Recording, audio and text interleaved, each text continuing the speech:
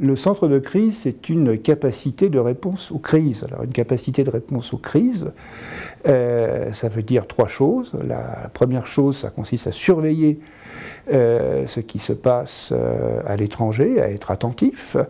Deuxièmement, quand quelque chose se passe mal, à apporter des réponses. Alors, une réponse, c'est par exemple évacuer des Français qui se trouvent en difficulté. Le centre de crise, c'est une aventure humaine. C'est une aventure qui euh, réunit euh, des hommes et des femmes du département, rejoints euh, au sein du département, mais issus de ministères différents. C'est cette union-là au profit d'hommes et de femmes, français ou étrangers, qui sont en situation de difficulté. Le premier élément à entendre, c'est cette patte humaine. Un centre de crise tel qu'il est constitué aujourd'hui fonctionne 24 heures sur 24, 7 jours sur 7. Il y a des équipes qui, travaillent nuit et jour. Ça, ça a été également quelque chose d'extrêmement important, avec l'apport pour le ministère des Affaires étrangères d'un suivi, de veilleurs qui fonctionnent 24 heures sur 24. Ils sont connectés à toutes les télévisions du monde, à toutes les sources d'information du monde, à toutes les ambassades, à toutes les, sources de renseignements qu'on peut avoir. Et grâce à cela, ils sont en mesure de mettre en place des, des alertes, on va dire, assez rapides sur un certain nombre de sujets.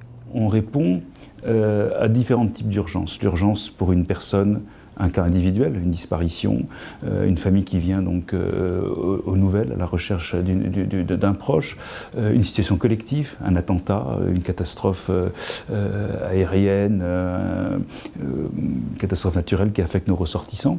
Une situation à l'étranger qui affecte non pas des Français, et donc ça c'est l'action humanitaire, en réponse à un tremblement de terre, on va se mobiliser, donc là aussi, nous sommes urgentistes, on va être capable de réagir très très vite. Répondre à une crise, répondre à une crise c'est quoi? C'est répondre au téléphone, parce que quand une crise survient, eh bien, bien souvent on, ouvre une ligne téléphonique. Euh, cette ligne téléphonique, elle sert euh, aux, gens qui, qui sont concernés par cette crise ou qui pensent l'être euh, puissent appeler et essayer d'avoir une réponse derrière, avec des agents du centre de crise qui répondent, qui sont formés à la réponse téléphonique, qui ont des éléments qui permettent de répondre à ses membres de famille, euh, à ses proches, euh, aux proches ou à, des victimes elles-mêmes. Hein. S'il y avait un mot qui devait caractériser notre action, c'est l'humanité.